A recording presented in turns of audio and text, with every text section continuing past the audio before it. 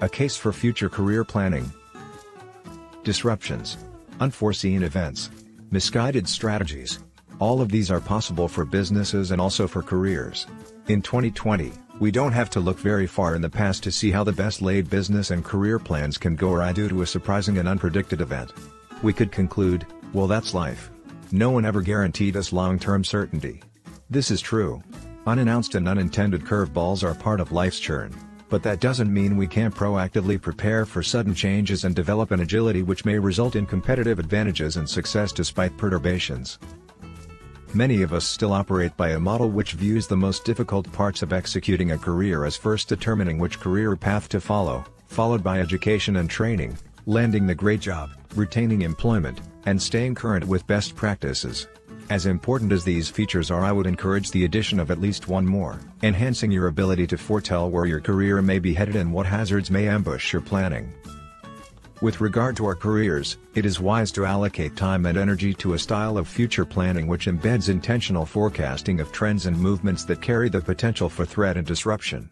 Although no one can definitively predict the future, by practicing the formation of projections over time we can hone our capacity to more accurately make predictions, test our hypotheses, and peer ever deeper into what makes our professions tick.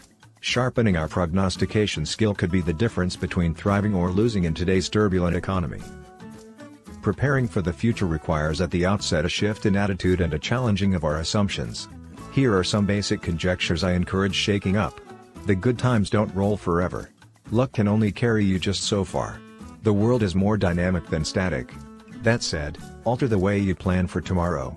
Future planning should not be confined to assessing the present and then looking forward. Rather, determine as best one can the most likely future perception and plan backwards from there. Interpreting the future is a matter of creating a vision. This vision displays greater resolution the more in-depth is our knowledge of our profession, including the proclivities of markets and customers.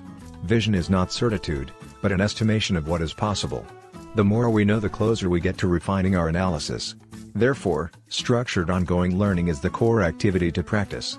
By looking at every angle of our profession, including the influences and disorders impacting our lines of work along with practice in making and reviewing our predictions we better prepare ourselves for forecasting. Opportunities will always be out there. Become your own agent of change and a magnet for locating these possibilities. Smart organizations deploy a strategic method known as scenario planning.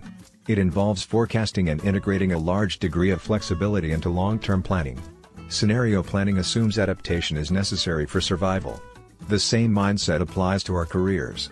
In general, this process involves merging known facts about the future, such as demographics, geographic limitations, cultural characteristics, government structures, etc. with social, economic, political, technical, and environmental trends. From this blend we can formulate simulations that function as prototype strategies. For example, is it feasible to think climate-related disruptions may manifest in novel ways over the next three decades prompting potentially sudden market fluctuations?